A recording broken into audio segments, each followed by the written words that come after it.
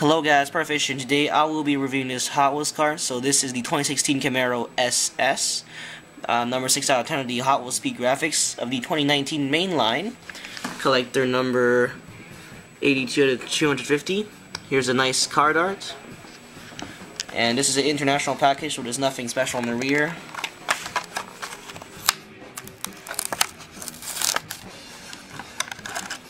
So here's the car itself.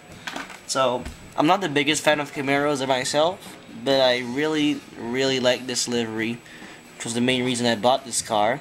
Just look at the side, see Borla 78, that is just really good.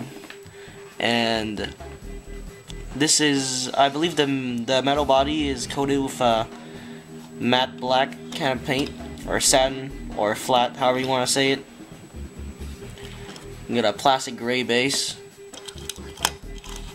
So the car, um, I mean the rear wheels are a little bit big and the car's a little bit flat itself, but I don't really mind that.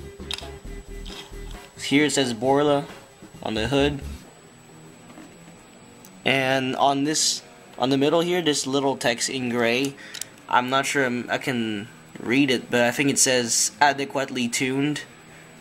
And then there's some more little text I can't read yeah, it's pretty good because there's decals on the side and on the top. And what I really like is that the stripe actually goes down the entire car because like in many cases Hot Wheels just does the stripe that goes on the roof and the back but not the roof or just the hood but not the rest you know.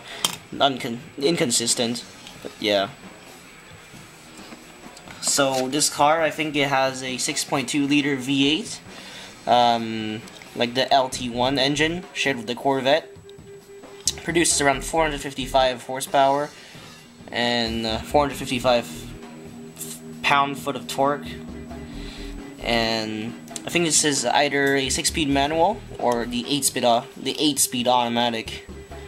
I'll personally take a 6-speed manual in real life because I just prefer manual for my personal driving tastes. But you automatic scrubs uh, can have your fun with your 8-speed. That is it, guys. Thank you for watching. Until next time, this Perfish out.